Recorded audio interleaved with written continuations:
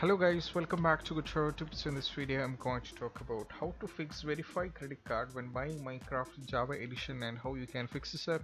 So let's get started. So first thing what you have to do is in order to buy the Java Edition, you just have to you know follow the instruction like you have to search for the Minecraft and you have to open this the official site and you just have to click on you know uh, the get Minecraft you just have to click on this and you have to click on get Minecraft.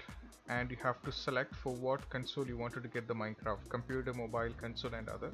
So click on the computer mine uh, the application is computer so I have to select it and I have to select the respective OS so I'm going to play this on the Windows so I have to click on this now from here I have to select which one I need so we have two options Minecraft Java editions and Minecraft Windows 10 edition. So I'm going to select this one so which is Minecraft Java edition. And as you can see that which is around 26.95 dollars and where I have to click on the buy Minecraft option.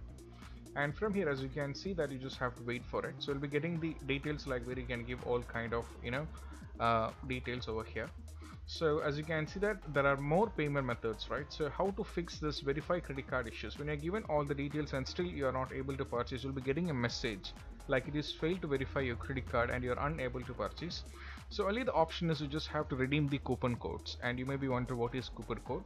So coupon code is available on the Amazon. As you can see that if you search for it it is available right now. But here it is uh, unavailable due to COVID-19 issues. But even though as you can see that they are available on the gift cards are available on the Amazon.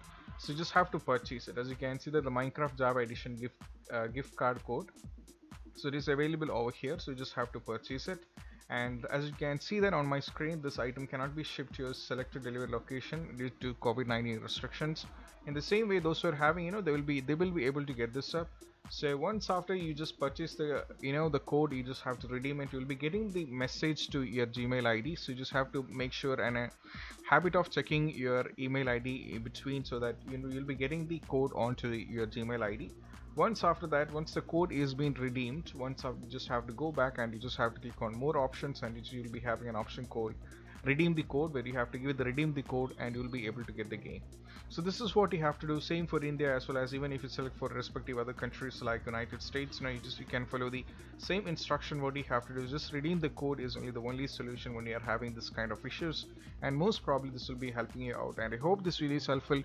And if you don't have any kind of uh, issues with the credit card you can use the international payment gateways like PayPal and PaySafeCard etc but even in most of the cases you know people trust on the credit cards and they are having these issues so I think this is the only the solution what you have right now and I hope this video is helpful for you guys and if you find this video helpful don't forget to subscribe and click on the bell icon for more notifications. See you soon in the next video.